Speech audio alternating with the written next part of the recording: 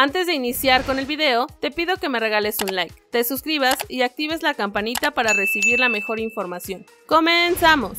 Santi Muñoz vuelve a Santos y Chivas le robaría a un jugador. Uno de los varios mexicanos que se encuentran en el continente europeo es Santiago Muñoz, pues actualmente milita en el equipo sub-21 del Newcastle United de Inglaterra. Todo esto cedido desde Santos Laguna, que es dueño de su carta. A pesar de cumplir su sueño, parece que el equipo inglés no haría válida la opción de compra. Esto haría que Muñoz tenga que volver al equipo lagunero, y si bien Santi aún puede partir a otro equipo tanto de México como de Europa, se reporta que en Santos estarían muy interesados en incluir al joven delantero en su proyecto deportivo del siguiente torneo. Si esto sucede, podría haber buenas noticias para Chivas. Al quedarse con Santiago Muñoz, Santos podría dejar salir con más facilidad a Eduardo, el mudo, Aguirre, del cual el Guadalajara es un constante perseguidor, pues ya ha sido vinculado al club rojiblanco y aún más en estas últimas semanas, pues en Chivas consideran necesario encontrar un nuevo centro delantero. Ángel Saldívar anotó en cuatro ocasiones este apertura 2022 y Santiago Ormeño solo lo hizo una vez, por lo que ninguno de los dos ha convencido en el conjunto tapatío. Por otro lado, aún se confía en José Juan Macías, sin embargo, ha estado ausente por una lesión y volverá hasta la tercera o cuarta semana del siguiente certamen. ¿Cuánto se pagaría por Aguirre? Según el sitio Transfermar, Eduardo Aguirre tiene un valor de 2.5 millones de dólares. No obstante, podría cambiar, pues se trata de un rival directo en liga, además de que al Mudo aún le resta un año y medio de contrato con Santos, por lo que los laguneros podrían pedir más. Se ha hablado que Chivas podría ofrecer al Chicote Calderón como moneda de cambio. Por otro lado, ¿cuánto tendría que desembolsar el América por Fernando Gorriarán? Como se ha hecho costumbre en los últimos años, el cuadro de las Águilas busca a sus nuevos futbolistas en la comarca lagunera, por lo que no cambiarían la fórmula y tendrían al mediocampista uruguayo como una de las principales opciones para reforzarse. A pesar de que no hay información oficial al respecto, los rumores que cubren a los dos clubes mencionan que el jugador de 27 años de edad no sería uno barato para el cuadro de Coapa, por lo que tendrían que desembolsar dinero más el intercambio de un futbolista. Según diferentes reporteros, Santos tiene tasado a Gorriarán en 6 millones de dólares, a pesar de que en Transfermar tiene precio de 8, 5 millones de dólares, por lo que el cambio de jugadores sería una de las estrategias para abaratar la contratación. Cabe resaltar que las dos directivas tienen una buena relación debido a que jugadores pasaron por las instituciones, como es el caso de Andrés Ibargüen, Juan Otero, Diego Valdés y Leonardo Suárez. Este último terminó su préstamo y tendrá que regresar al América. Sin embargo, el volante argentino sería una de las opciones para que permanezca definitivamente con Santos, pero en caso de que no se llegue a un arreglo, otras de las piezas que ofrecerían son Pedro Aquino y Federico Viñas. Este último se dice que sería el definitivo. El mediocampista uruguayo es una de las piezas clave de los guerreros, lo que provocó que equipos como Cruz Azul y Pumas también estén interesados por hacerse de sus servicios, por lo que las águilas tendrían que moverse rápido para amarrarlo.